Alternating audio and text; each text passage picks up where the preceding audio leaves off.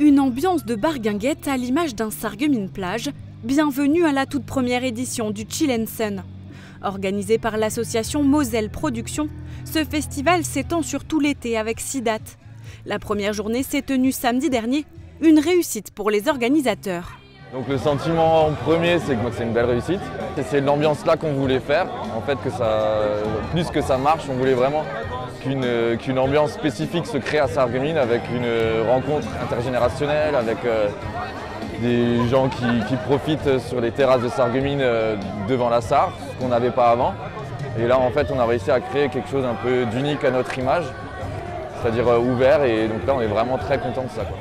Au total, 30 bénévoles assurent le service de 14h à 22h. Au programme, concerts, activités et surtout détente. Alors ce soir, on est sur une année, euh, année 80 euh, contre année 90. Donc on va passer euh, des musiques des années 80 comme Images, comme Voyage Voyage contre du Nirvana ou du ACDC ou même du plus classique avec du Million Farmer, du Céline Dion. On fait vraiment une grande palette générale pour ce soir. c'est le but, c'est un événement familial. Hein, c'est pour tout le monde. Pour le lancement, le public est venu en nombre. Certains suivent le projet de près, d'autres sont des curieux qui ont suivi la musique. Euh, personnellement, euh, je trouve que la ville de Sarreguemines euh, a trouvé quelque chose d'intéressant à faire, de développer la ville et tout ça.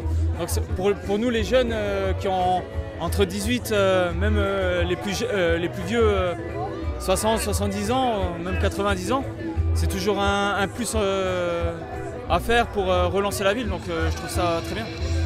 Ben, c'est bien, c'est bon enfant. C'est bon enfant, c'est bien. Il n'y a pas que des tables comme les, les, euh, les, balles champêtres où il y a des tables, les gens sont assis.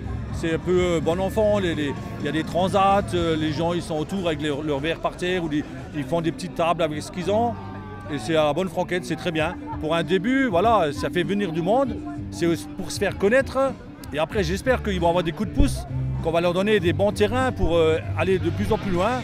Et voilà, tout doucement. Si vous avez manqué la première, pas de panique, il reste encore 5 dates. Rendez-vous le samedi 17 juin pour profiter de l'ambiance sur un transat, un verre à la main.